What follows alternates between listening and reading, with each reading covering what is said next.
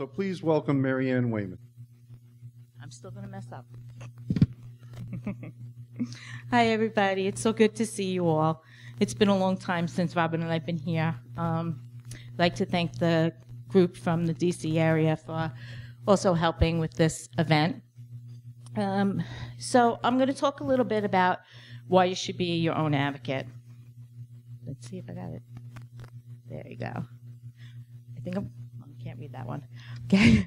Um, we, um, before we get started, um, why you should be an advocate and a patient advocate.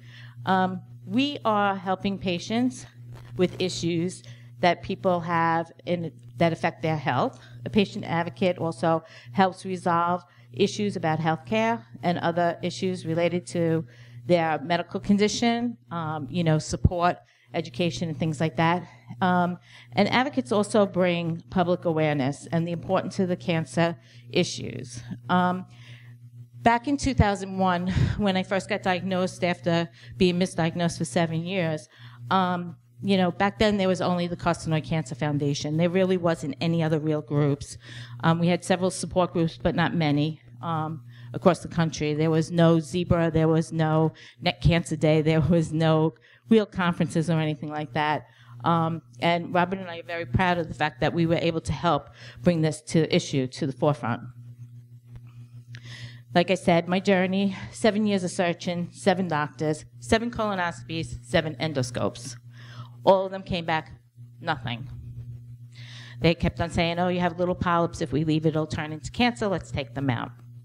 And finally, I went to see a GI doctor who thought outside of a box. And he said, Did anybody ever use a pediatric scope on you? And I looked at the man and said, Are you crazy? I said, I'm in my 30s. What are you talking about? And he said, It's longer and more flexible. He said, I can get into that ileum, and I believe that's where your tumor is. And sure enough, he was right. So, my journey, my journey is not unusual. I get calls every single day saying, You're never going to believe what happened to me. I do believe it because I've been there and I've listened to your stories over and over again. We answer the phone seven days a week, 365 days a year. Robert and myself and my daughter answer the phone. When you call, you do not get a secretary. You do not get somebody reading off a script. If you need 15 minutes, I give you 15 minutes. If you need two hours, I give you two hours.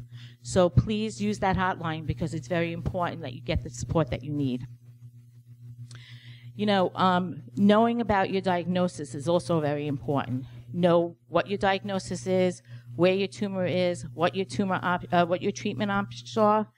Um, speak up for yourself.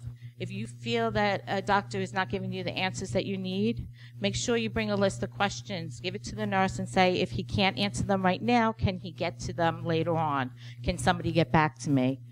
And um, you know, by going and doing these, speaking up for yourself and being an advocate for yourself, you have a better chance of having a better outcome and a longer life. Here's the three reasons why you need to advocate for yourself. One, not all doctors know neuroendocrine. Most doctors, unless they specialize in this disease, will only see one or two patients in their lifetimes. They will say, Yes, I've heard of it, and they'll go on the computer when you're out of the room and look it up. find yourself that knows somebody that find somebody find a doctor that knows what they're talking about. And if you can't and you need to see a local doctor make sure you get the resources to help educate that doctor. Call ISI and get their book. Call NCCN go to a specialist once in your lifetime. Go to a specialist have them work up a program. Um, so this way you're getting the proper treatment. Um, can't even see it. okay. So um, that's okay. you can help yourself by um, sharing these uh, mis- uh, com- misconceptions, and they're common, and that you know a lot of physicians believe that once the tumor is removed, no follow-up is needed. That's not true. Everybody needs to be followed up. That um, you should um, there is no treatment options. That's not true. We have treatment options. Years ago, there was only one treatment. Now there are hundreds of treatments. All right, maybe not hundreds, but at least 50. um, you know, and um, especially surgeons remove the uh, re- remove the tumor, and then they say no follow up is needed. Get yourself an oncologist. Get yourself an endocrinologist. Get yourself a surgeon. Get yourself a GI doctor. Get yourself a heart doctor. Go for your echoes. Go for your um, stress tests. Go to every doctor you can. If you are female, go to your GYN. Go and get your breast exam. Go and get whatever you need to get done. If you're a male, go for your prostate. This disease can spread to other organs. And a lot of times people ignore because they're so focused on the carcinoid and the net, they ignore their bodies for other things, and then it's too late. So please do yourself a favor and follow up on your net specialist, uh, your net test, and also other tests. Okay, reason number two: effective treatments do exist. New diagnostic and therapies are available. We've seen a lot of new things coming um, in the last year or so, and we have a whole bunch more coming in the future. How can I make sure that these uh, treatments are available, like the gallium 68, the PRRT, I can't read, uh, the um, Xermelo. Uh, there's a bunch of clinical trials, which we're going to hear today from NIH, which we're really excited about. But find out about it. Go online, be proactive, speak to the experts, go to your support group meetings. People you go online and do the Facebook groups, which is wonderful. But honestly, the fact of the matter is, you learn more by sitting in a room at a support group meeting or at one of these meetings. You can sit at home and watch the live feeds of certain conferences, but you're not absorbing it as much as you are when you're sitting right here and now. So try to attend as many events as possible and listen to the experts and listen to what they have to say because they're going to help save your life. Note, many nets secrete various hormones. I'm not going to go into the hormones. That's not my job. Reason number three, save your life by making sure that you're getting the best treatment possible. Again, make sure that you check to make sure that your doctor knows what he's talking about. If he doesn't, get to a specialist.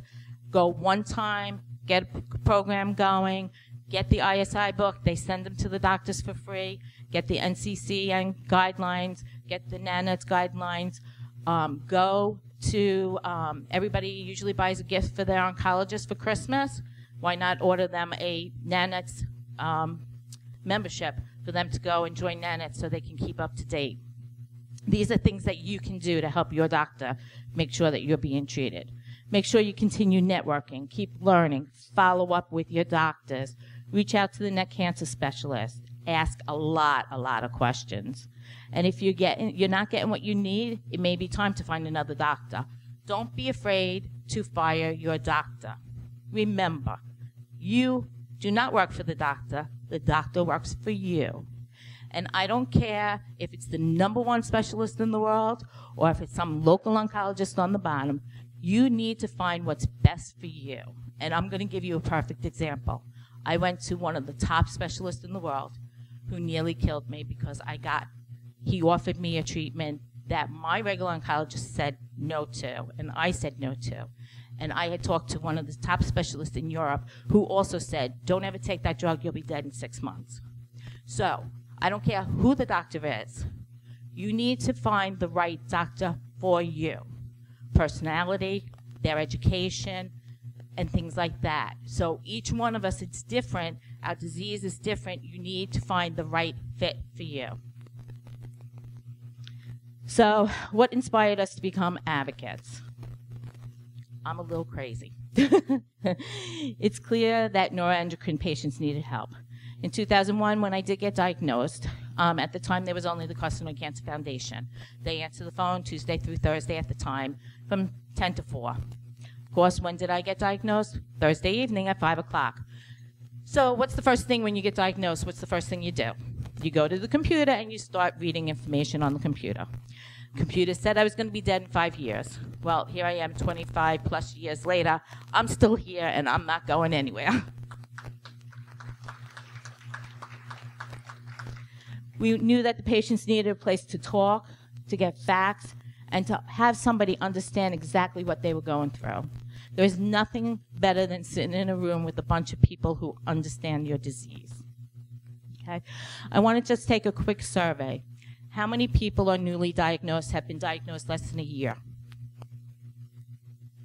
How many have been diagnosed two to five years? How many have been diagnosed five to seven years? How many have been diagnosed seven to 12 years? And how many have been diagnosed over 19 years? See, this is a pretty good crowd. If I look back at 2001 when I read that computer and it said I was going to be dead in five years, I would never have dreamt that I was going to be standing right here and looking at my fellow patients and knowing that they're here over 20 years. So that's a big, big feat for you. We remember that the journey was very long and exhausting. Like I said, seven years, seven doctors. I needed answers. I had doctors tell me I had ear valves. I had doctors tell me I had Crohn's disease. I had doctors tell me that I had ulcerative colitis. I had doctors to tell me that I was absolutely crazy, that there was nothing wrong with me. It was all in my head. But I think the one that hurt me the most was Robert and I were sitting in a doctor's office as he's holding my hand, and the doctor turned around to Robert and said, You need to go to a marriage counselor. And Robert said, Excuse me? And he said, You need to go to a marriage counselor because your marriage is bad and that's why these symptoms are happening. And I turned around to that doctor and I said, if my marriage was so bad, why is my husband sitting here for seven years, holding my hand, going to every doctor's appointment, every hospital visit, every hospital stay? You're the one that's crazy, not me. So after being diagnosed, I wrote a letter to each and every doctor that I saw. And I said, I'm not suing you for malpractice. But what I'm sending you is the information. I'm sending you the guidelines. I'm sending you the information that if any patient comes to you with these symptoms, please do not block it out of your head. Please think of carcinoid because you might just save somebody's life. Believe it or not, out of seven doctors, I got three responses thanking me because they had no idea that this even existed. We also had a patient who was diagnosed in our group, and her son was a dermatologist. He had been treating the patient for many, many years for rosacea, and the patient never was improving, and he couldn't understand why. And his mom got diagnosed with carcinoid, and he started doing reading, and all of a sudden he went back to this patient and said, I'm going to run some blood tests just for the hell of it. He said, because your rosacea isn't getting any better, and I really, I'm at a loss for words. I don't know what to do with you. And the woman said, okay, I'll do it. And turned out all the blood markers came back high. She ended up having a colonoscopy, and it turned out she did have metastatic carcinoid of her small intestines that nobody picked up on. And here was a dermatologist whose mother just happened to get the disease, and he happened to find it.